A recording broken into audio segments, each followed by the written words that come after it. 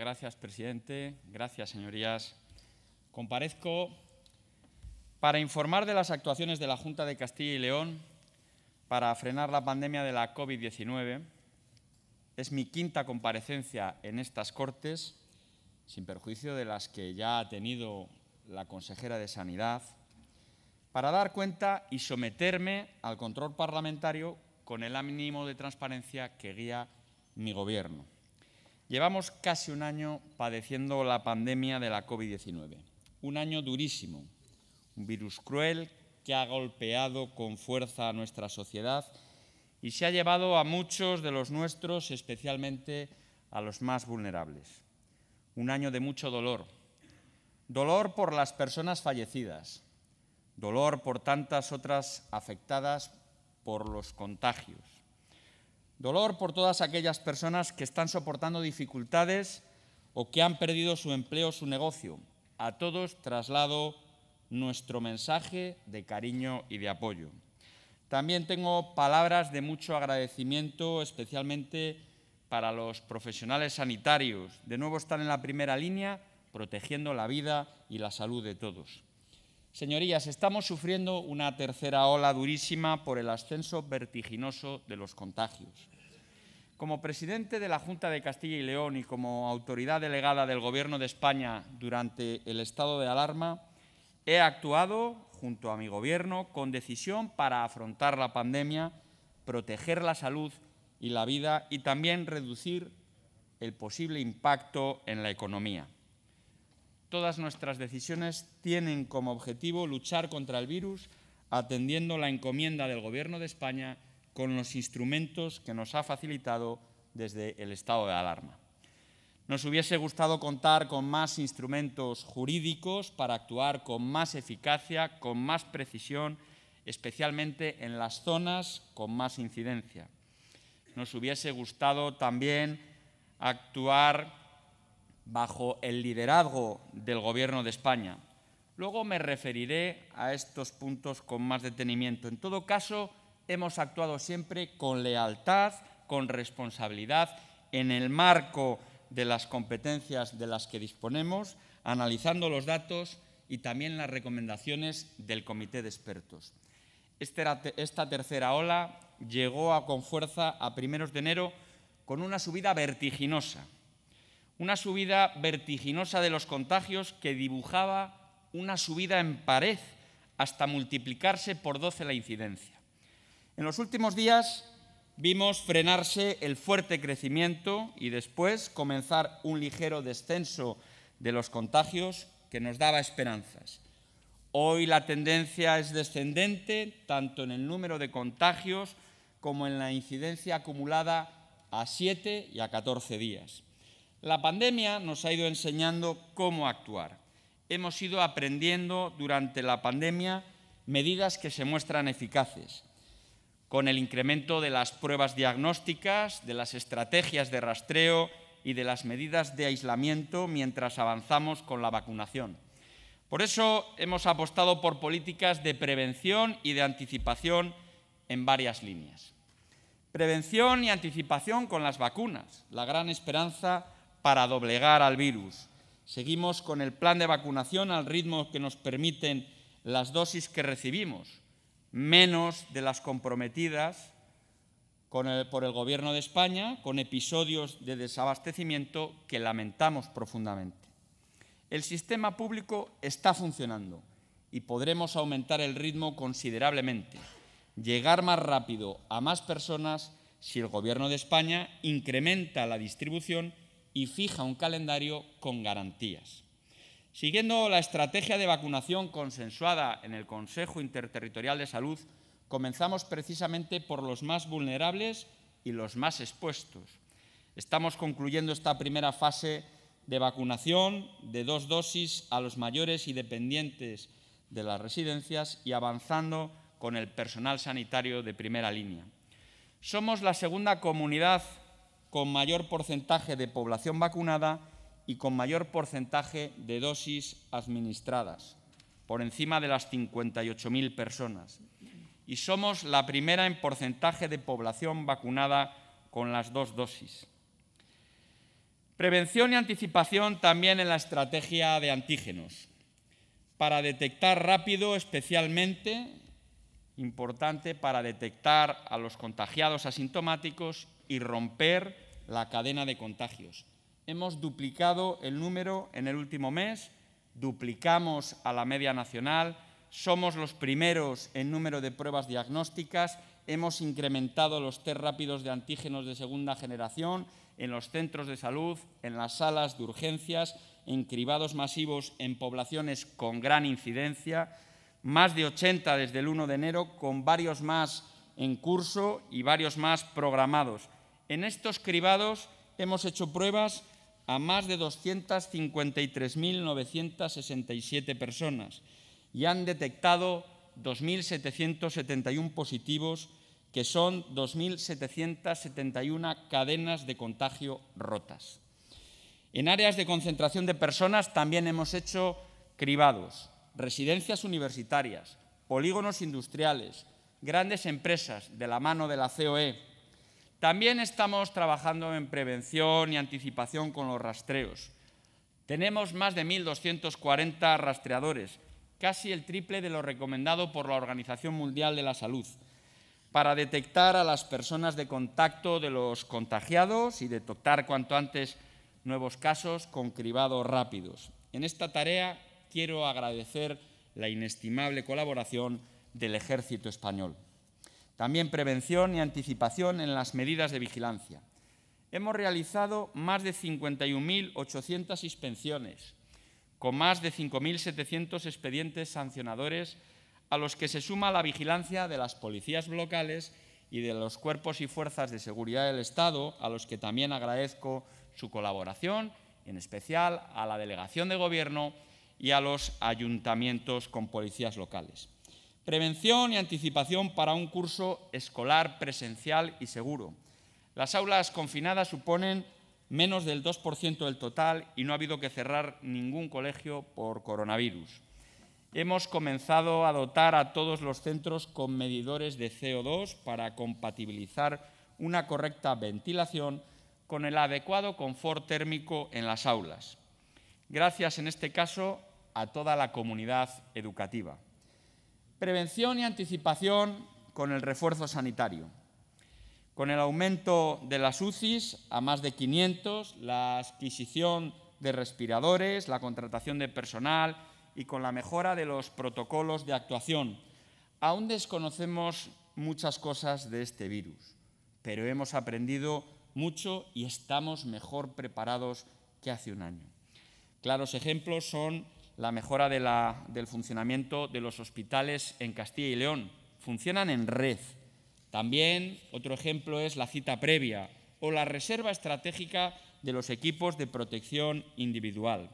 Hemos aprendido que las medidas útiles y eficaces lo son más cuanto antes se tomen. Por eso hemos apostado por la anticipación en la toma de estas medidas. Cuanto antes se pongan en marcha, antes ayudan a controlar las olas. Más cortas se hacen las restricciones en el tiempo y menos daño hacen a los sectores económicos. Por eso ya desde el 1 de enero anunciamos la subida de nivel de alerta 4 en Segovia, que entró en vigor el día 3. Y por eso, tras consultar al comité de expertos desde ese día 3 de enero, decidimos anticiparnos con un cambio de criterio para aplicar antes las medidas restrictivas, para adelantarlas.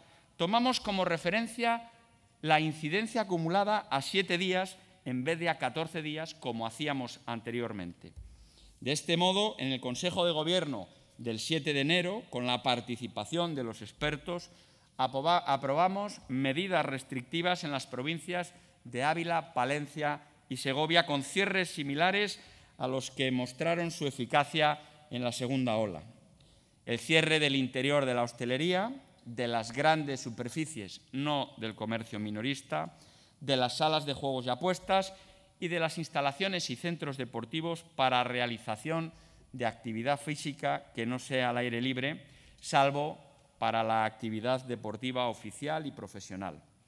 Hemos mantenido además en toda la comunidad el cierre perimetral, el toque de queda entre las 10 y las 6 de la mañana, la restricción de reuniones a un máximo de seis personas.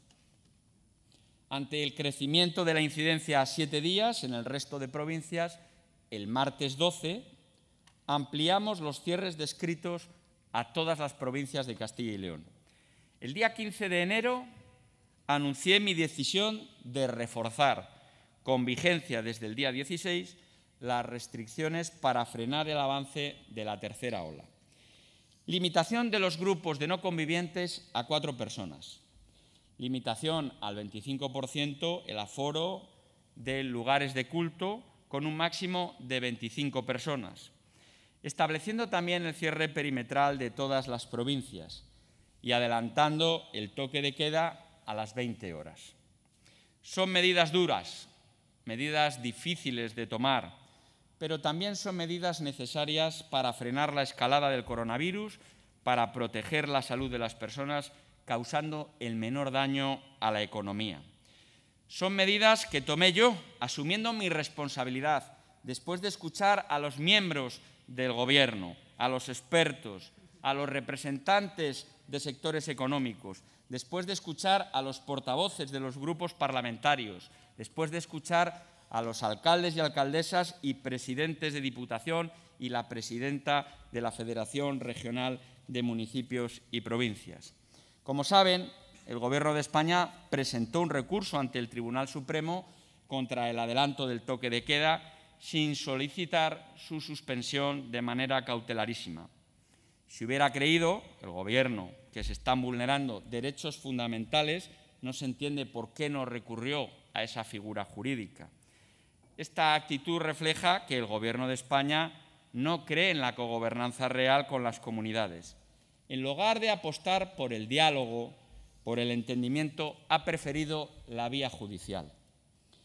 El miércoles presentamos el documento de alegaciones y tengo que anunciar, como anuncié el otro día, que asumiremos, como no puede ser de otra manera, la decisión del Tribunal Supremo, aunque confiamos, esperamos en poder mantener el anticipo del toque de queda mientras éste sea necesario.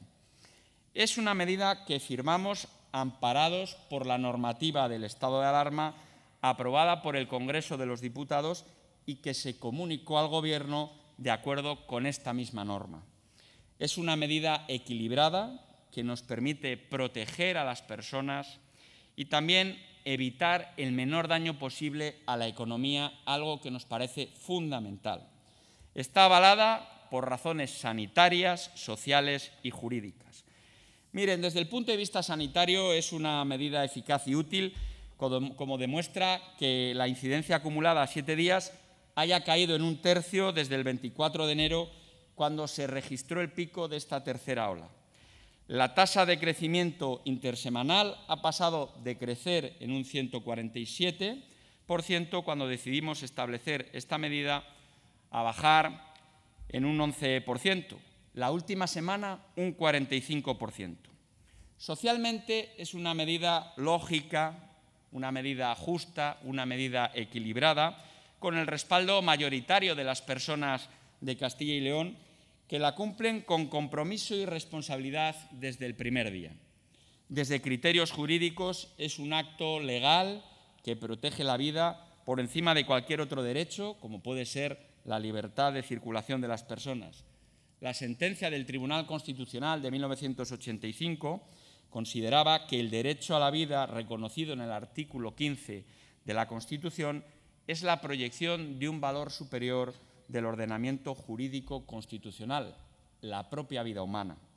Constituye el derecho fundamental esencial sin el que el resto de derechos y libertades no tendrían existencia posible. Es, por tanto, una medida en definitiva que adopté utilizando al máximo en una situación crítica las herramientas jurídicas a nuestro alcance para afrontar la pandemia.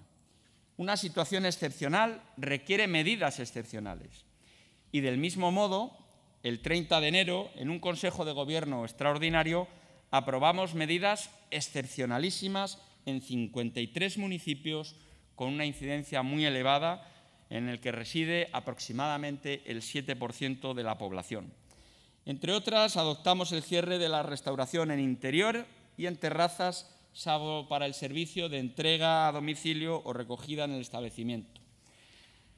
La apertura hasta las 18 horas de establecimientos de actividades y servicios, el cierre de bibliotecas, museos, archivos y salas de exposiciones y otros equipamientos comerciales. Quiero agradecer el esfuerzo y la comprensión de todas las personas de Castilla y León. Entre todos hemos conseguido frenar el fuerte ascenso de contagios y, desde luego, comenzar una bajada en la incidencia acumulada. Pero no hay que bajar la guardia.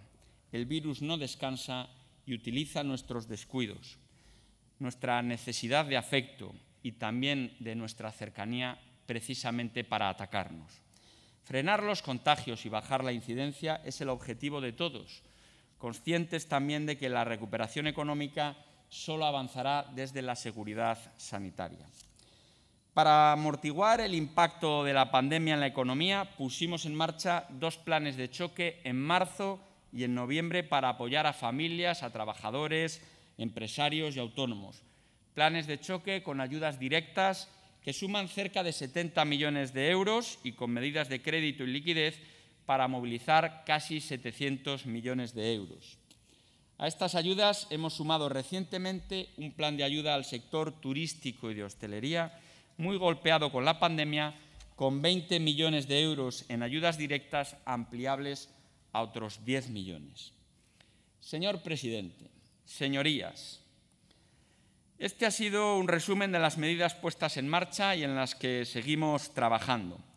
Hablé al principio de mi intervención de que nos hubiese gustado contar con más instrumentos jurídicos para actuar con más eficacia y de que nos hubiese gustado actuar también con mayor liderazgo coordinador del Gobierno de España. El coronavirus sigue entre nosotros y seguirá aún mucho tiempo. Debemos reforzarnos para hacerlo frente con más eficacia. Por eso pido al Gobierno de España un cambio de rumbo, que asuma su liderazgo, que apueste por una coordinación efectiva con las comunidades autónomas. Pedimos al Gobierno de España que actúe, que mueva ficha ante una situación de pandemia que requiere unidad, pero también esfuerzo de todos. Pedimos al Gobierno de España que atienda las, peticiones del siguiente decálogo. Actualizar los criterios comunes del acuerdo del 22 de octubre del Consejo Interterritorial de Salud. El actual cuadro de niveles, conocido como semáforo, deja arbitrariedad por encima del umbral de 250 de incidencia acumulada.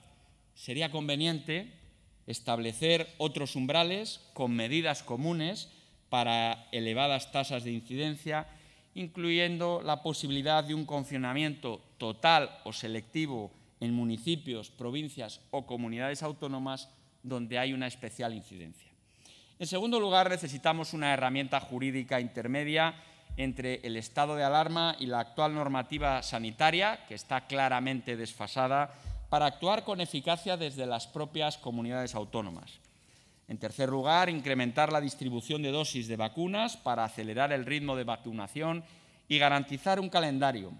Solicitamos al Gobierno que utilice todas las herramientas a su alcance para hacer cumplir los contratos de suministro. Y tengo que decir, tiene nuestro apoyo ante la Unión Europea y ante la industria farmacéutica.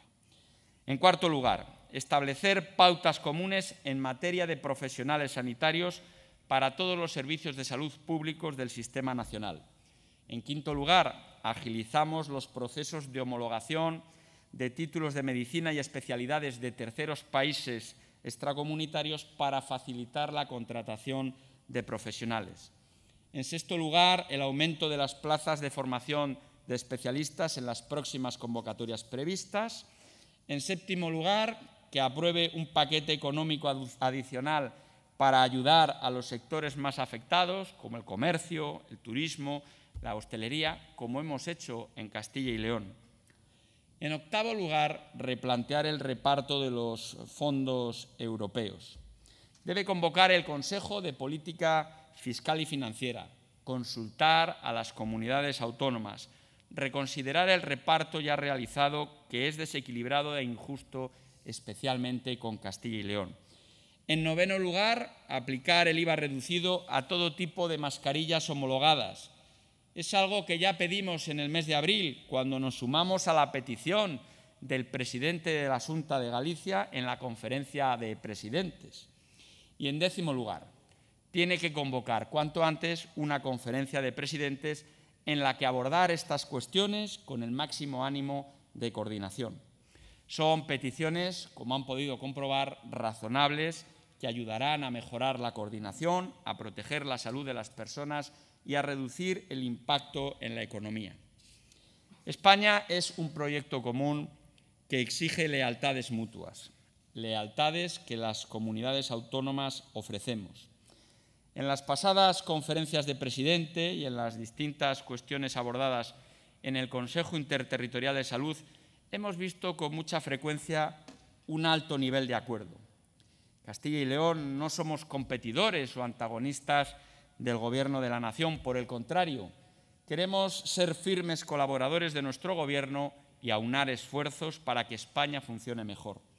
Como dije en mi comparecencia anterior, Castilla y León asume firmemente nuestra Constitución y su modelo territorial. Un modelo que desde el equilibrio entre unidad y diversidad contempla unas comunidades gestoras y un Estado director. Un modelo integrado por varios centros de decisión que a partir de sus propias competencias debe actuar como un todo, porque todos dependemos unos de otros. La respuesta a esta pandemia exige claramente que desde las responsabilidades y funciones de cada uno, comunidades y Estado vayan de la mano. La gestión autonómica precisa de una dirección unificada nacional en todas las cuestiones esenciales y, por supuesto, también en unos medios suficientes para realizar sus funciones. Solo pedimos eso, nada más, pero tampoco nada menos. Yo les aseguro que en este camino de colaboración y entendimiento nos van a encontrar siempre. Señoras y señores procuradores, la pandemia está sometiendo a nuestra sociedad a intensos contrastes emocionales. Momentos de relativo optimismo son sucedidos por otros momentos muy preocupantes en un breve tiempo, generando sentimientos de angustia, de incertidumbres, de hartazgo.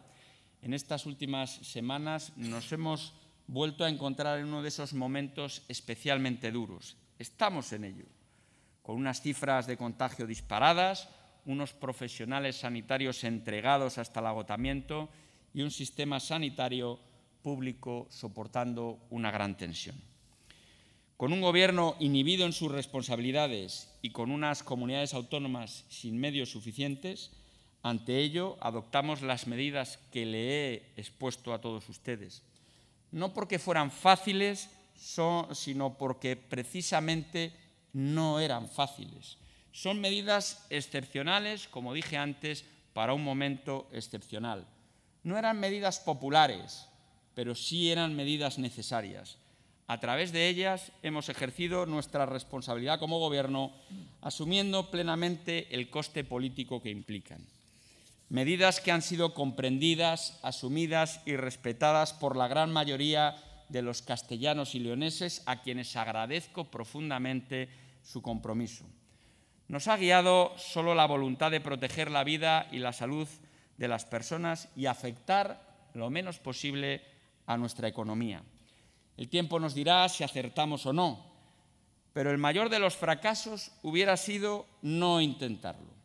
Siempre preferiré el lamento, siempre preferiré al lamento por no haber hecho nada cuando debíamos, la pasividad nunca ha sido ni siquiera una opción para nosotros. Nuestra lucha es contra el virus. Por ello no me cansaré de insistir en que estamos ante un esfuerzo compartido con el Gobierno de España, con todas las administraciones, con todas las fuerzas políticas y sociales de Castilla y León. Por ello sigue siendo imprescindible no mirar por nuestros intereses particulares o partidistas, sino en lo que podemos hacer juntos por todas las personas de Castilla y León y, por supuesto, de España. A todos ofrezco y a todos pido esa colaboración. Es lo que esperan todos los castellanos y leoneses es lo que necesitan de nosotros. Muchas gracias.